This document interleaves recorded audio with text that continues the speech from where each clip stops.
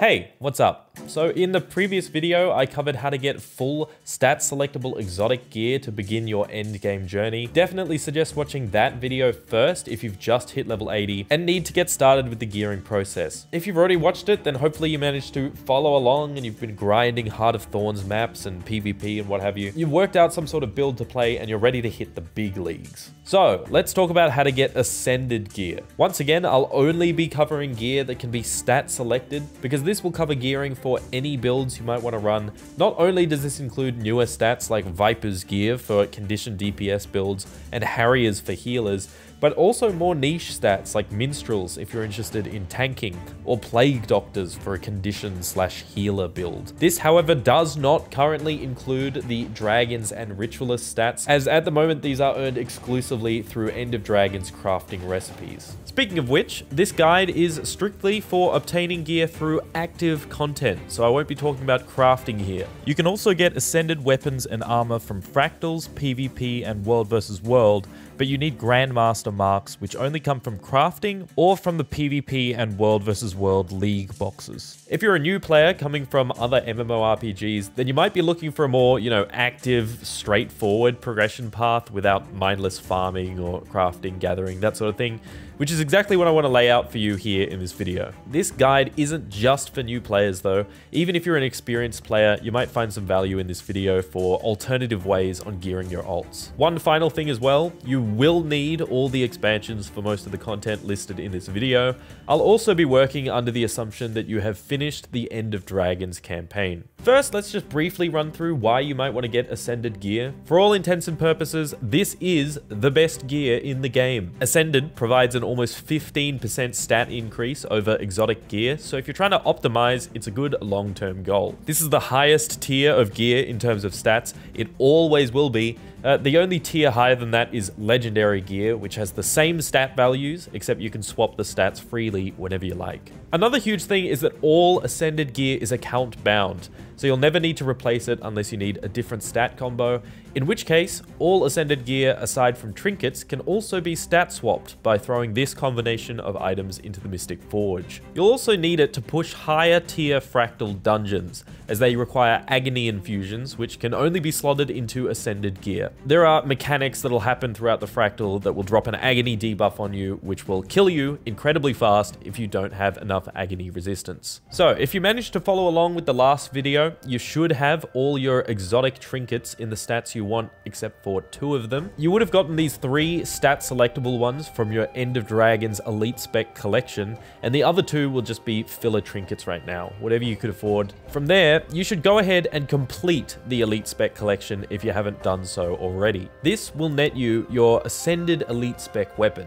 This is easily the cheapest Ascended weapon for you to get. Now, the caveat is that it isn't totally stat selectable. You'll only have a few options, but you will be able to stat swap it to whatever you want, so just hold on to it. It may also not even be the weapon type that you actually want. But nonetheless, you'll need to complete this collection for the next step anyway. So next, we're going to head into Arborstone. This is the End of Dragons hub area. You would have come across this during the story. Head over to the Strike mission vendor and go down to this tab. You'll notice this entire list of Ascended trinkets uh, but you'll notice that they require Harvest Temple Strike completions before you can buy them, and you'll also need to have completed that aforementioned Elite Spec collection. I hope you've brushed up on your skills, because now we're going to jump into group content, starting with strikes. Don't worry, this is relatively entry-level stuff. As I said before, you can check out channels like Mr. Mystic for simple, easy-to-play builds, or browse sites like Snowcrows, Hardstuck, or MetaBattle. I'll have links to those in the description as well. Make sure you get a good understanding of your skills by reading through them and testing them out on the training golem located at this portal in Lion's Arch. Anyway, you're going to open up the LFG and head down to the Strikes Training tab if you're new. And we're going to wait until someone posts a group.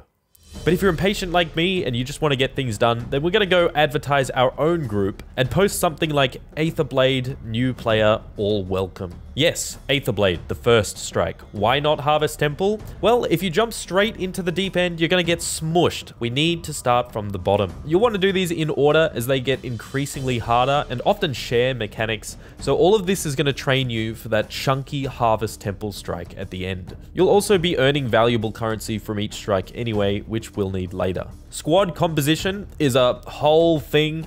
Here's a handy infographic created by Arch, and I'll have a link to it in the description. It looks complicated, but honestly, it isn't. The general idea is that you just want two subgroups, each with, uh, you know, ideally one alacrity provider and one quickness provider, with one of those also being a healer, and then the rest are DPS. We do this because boons and healing have a five player cap, but they prioritize your subgroup.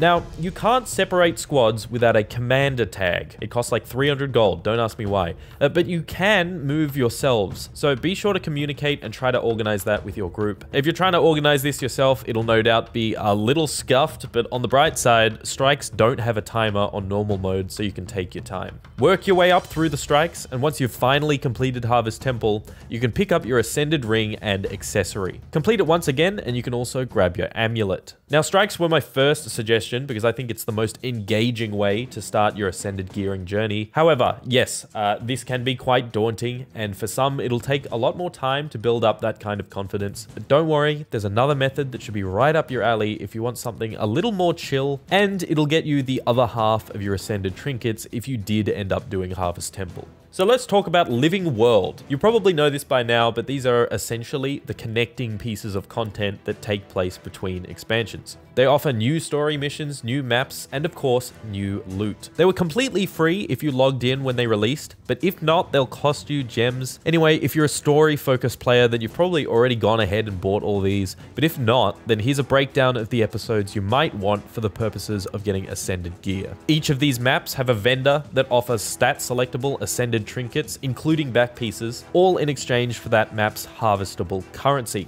So grab your harvesting tools, it's time to play some Stardew Valley. Essentially, each of these maps listed have a unique harvestable currency. You can earn them through buying them off the heart vendors and also, of course, harvesting them from around the map. This can only be done once per day per character. So you can just do one of these maps if you want, but obviously you'll get them faster by doing multiple maps each day or by doing them on multiple characters. Alternatively, you can also get these stat selectable ascended trinkets from Fractals, PvP, and World vs. World, but they're not my first suggestion as they take a little more investment. For the back piece specifically though, uh, I do sort of recommend ranked PvP, where all you need to do is max out your league boxes in just a single season if you're feeling daring, or you can also just earn a few chests across multiple seasons. This will give you enough tickets to buy these four back pieces here, and then you throw them into the Mystic Forge to create this ascended back piece. Another alternative is forging the Quiver of a Thousand Arrows in the Mystic Forge by throwing in these items.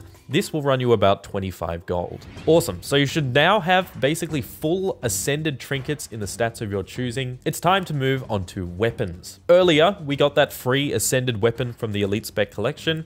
That's great, but as I said, it might not be in the stats you want, so you'll need to stat swap it. The problem is, for stats like Vipers or Harriers, uh, the insignia you'll need for the stat swap is account bound, which means you need to craft it yourself. Just hold on to it though, there is a way to bypass this, which I'll get into later. For now, let's talk about another source of free Ascended weapon, the Knight of the Thorn side quest. Visual spoilers for Heart of Thorns coming up, so just don't watch the screen for this section if you care about that. After you finish the Heart of Thorns campaign, you'll receive a mail, which will unlock this side quest, and you'll find it in your achievements under side stories. It acts as a really awesome epilogue to the Heart of Thorns story and provides some much needed closure for the um, events that transpired at the end of that expansion. It is a little involved. It'll have you traveling all over the globe, so hit up the wiki if you get lost. An important thing to note, uh, one of the items you'll need to complete this quest is a vision crystal. Almost the only way to get one of these is from crafting it, but if you don't have a discipline maxed out, then you can also get one from the final login reward on your 28th